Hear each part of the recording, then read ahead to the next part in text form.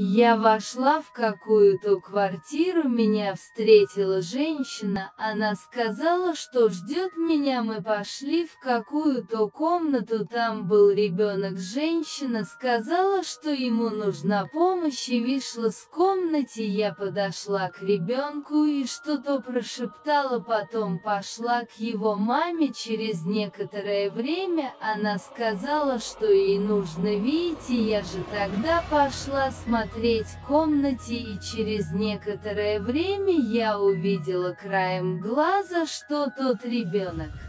стоял весь в крови, я от испуга залезла под кровать и начала плакать от того, что слышала маленькие шаги рядом с кроватью.